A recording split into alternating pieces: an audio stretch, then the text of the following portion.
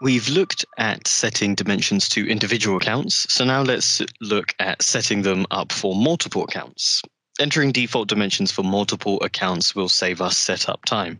If we select a number of customers and select dimensions multiple, we can set the default dimensions for all of these customers.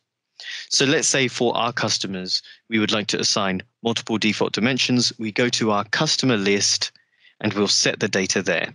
In this demo company that I'm using, we already have a department dimension set up. I'll show you just how this looks very quickly. And under this department dimension, we have a value code of sales and as well as a number of other dimension values relating to departments, administration, and production. Um, we'll be looking in this particular scenario to set the sales department dimension to all of our customers. So to do this, I'll first need to select my customers using the assist edit here, select more, and then selecting everyone. Alternatively, you can use Control A to select all.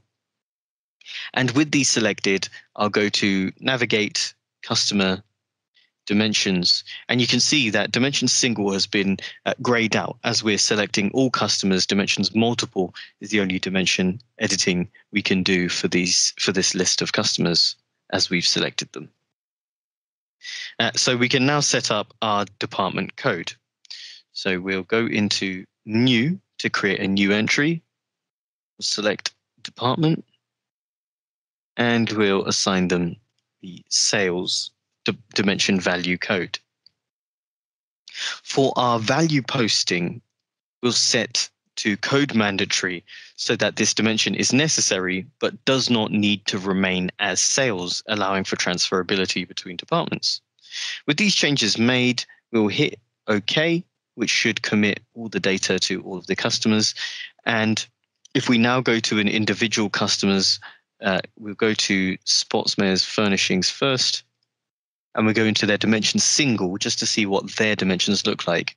We can see the department sales has been set up and we'll pick another customer just at random here, take Samadis, and again, cu- customer dimension single, and we can see department sales is the de- default dimension that's been set up.